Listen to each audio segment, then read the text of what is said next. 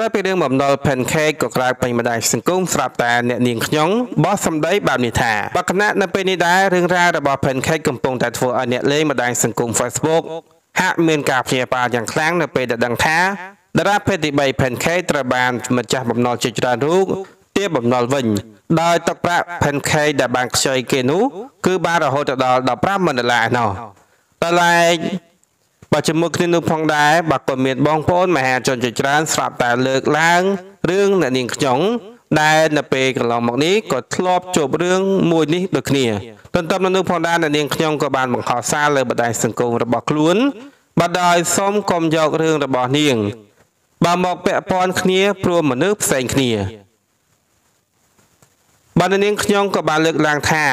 រកអីបានរកអីទៅ ធ្វើអីបានធ្វើទៅ មនុស្សមានបញ្ហារៀងៗខ្លួនអាក្រក់ឬក៏ល្អមិនថាត់ថេរលើមាត់របស់អ្នកឡើយកុំមកឌៀមដាមឬដង បាទផ្លែផ្កាឲ្យខ្ញុំមែនខ្ញុំបាទខ្ញុំធ្លាប់ឡាយនិយាយពីបញ្ហាបំណុល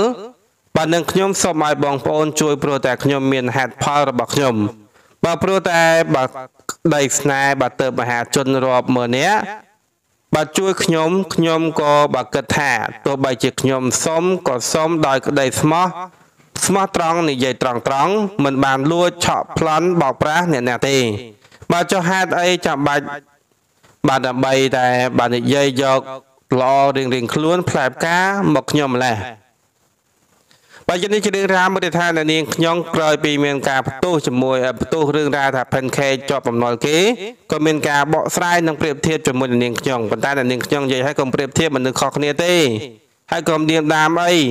បាទហើយគាត់សុំលុយគេហ្នឹងគឺដោយសុំដោយចិត្តស្មោះប៉ុន្តែតម្លៃការសុំរបស់គាត់គឺគាត់មិនបានយកទេគឺគាត់បានបាក់ផ្ទេទៅឲ្យគេវិញដោយសារតែបញ្ហាផ្សេងផ្សេងណាចំណែកថាចំពោះរឿងរ៉ាវ pancake និងនិងនាងខ្ញុំគឺមិនដូចគ្នាប្រហែលទេគឺខុសគ្នាបងប្អូនបាទ បាទហើយព័ត៌មានដែរគឺមានតែប៉ុណ្្នេះទេបាទសូមអរគុណសូមជម្រាបលា